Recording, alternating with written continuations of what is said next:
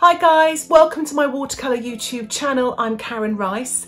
I'm going to be painting in this tutorial today semi-abstract sketches, really having fun and being creative with watercolour using lots of different sort of techniques, the spritzing, the plastic card, sort of painting on. You could use a palette knife as well.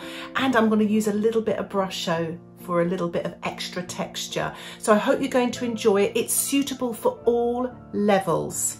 So let's get started. So the first thing I'm going to do, put my glasses on.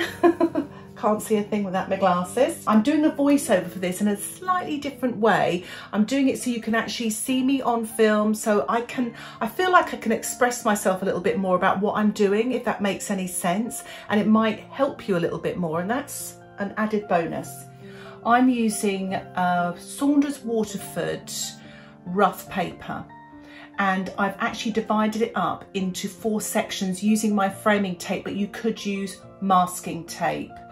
And these are some examples of some I've painted in a similar style. I've used hot press paper here, but just getting creative using some yummy colours. I've got backgrounds there. I've used a bit of pen and wash as well on the top left and the top right hand one and on the bottom right hand one it's very very abstract indeed so I hope you like that.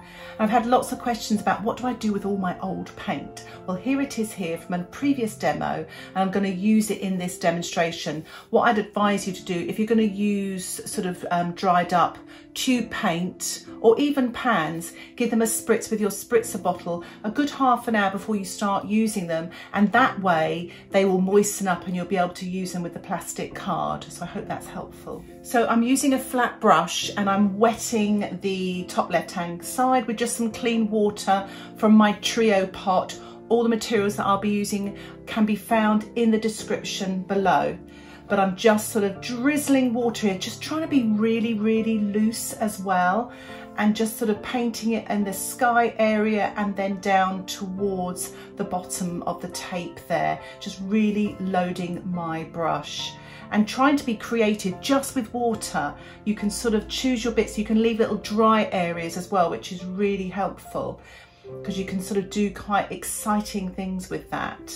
So I've got my plastic card, it's just an ordinary store card cut up and I'm actually applying it now to the wet surface. This, these paintings are completely out of my imagination.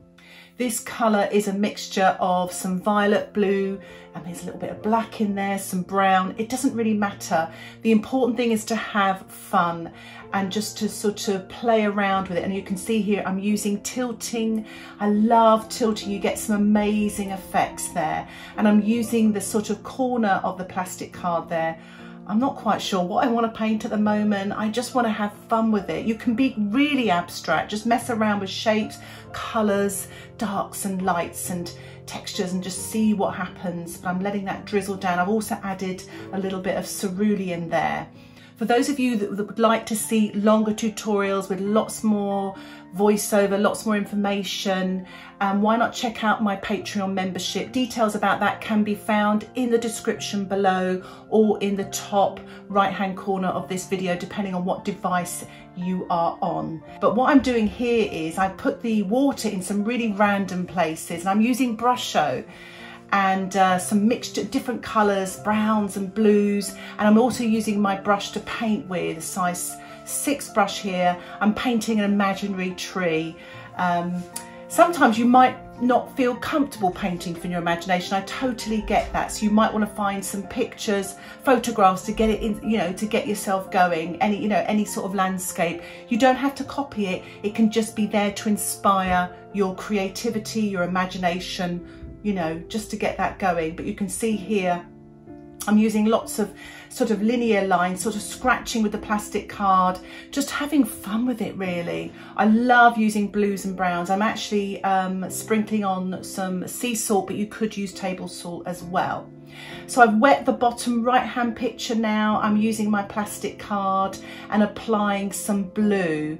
I kind of like to do things with water, um, with reflections. And you can see the top left has gone mad with the Brusho and it's got lots of things, lots of yummy things happening there. But this one here, I'm kind of doing a landscape. Will I do water? I probably will end up doing water. So it could all be just little water studies really. That's what it's turned into but the previous, the um, little um, example I showed you at the beginning um, had lots of similar sort of colours. It's very therapeutic to do this, but I'm sort of swiping on some dark sort of colours here, black with some quinacridone gold. I will put some colour suggestions as well in the description if you find it helpful. I'm putting a cool blue at the top of the sky there and I'm applying now some, I've sprinkled some Brusho actually onto the surface there and I'm scratching in now, sort of painting in a tree, an imaginary tree with my plastic card. Most of this is going to be done with mostly, I'm not really painting with brushes here, using mostly the plastic card, tilting techniques, the Brusho technique, you know, um, spritzing on the Brusho, applying that, shaking it out of its little drum, or you can actually apply it by dipping a dry brush in there and tapping it so you release all those little particles if you're interested in Brusho as well, I'll put a, um, a, link in the description below where I do a, a, sort of a whole tutorial all about Brusho. It's really exciting. And I'm spattering here as well to create texture and lifting off grasses here on the right hand side as well um, and painting in the trees using the plastic card. The exciting thing about the plastic card is it, it really loosens, loosens you up a lot. And I've used Brusho again and I'm now building up um, on the riverbank here painting in a sort of a Payne's grey colour, but I'm painting in some grasses. And as you can see here, because the underpainting has dried here, how these dark colours sort of come forward. And again, this is just from my, from my imagination. It's just to give you an idea of how to loosen up and sometimes just dividing something, a piece of paper into four like this can sort of just, it, it takes the pressure off and you might end up just really developing one painting as well, why not? But you can really sort of let go and practice colour mixing and textures, etc. So what I'm doing now is I'm just removing the framing tape and you've got a lovely white border here. So they're all like little individual paintings, which I love. I've allowed my painting to dry off now and I'm actually using some white gouache, especially if you've been tilting and spraying, you might lose your light. So I've actually painted a little bit of light on the right hand side and I'm spattering here on the left and the right just with some white paint. Um, and I'm actually painting a little bit of dry brush here using a size 2 brush just to put a little bit of highlights in the water and also to mirror and to be a reflection of what's going on on the shore as well on the riverbank. And it's quite effective and why not give it another little spatter? Be rude not to and I'm just painting in some birds here. Where the Brusho kind of went flying, I'm going to use those random sort of dots to create some birds, some wildlife. And I thought just to balance everything out, I'd paint a little tree and I'm just finishing off now using some wisteria, lavender and white all by Daniel Smith and just spattering some of those delicious colours onto the dry surface to kind of finish off. I always love to finish off with a spatter. So here are my four finished sketches and I'm really pleased with them. You can see I've done a lot more sort of developing them as well and I will that will be on the Patreon membership how I sort of develop them a little bit more.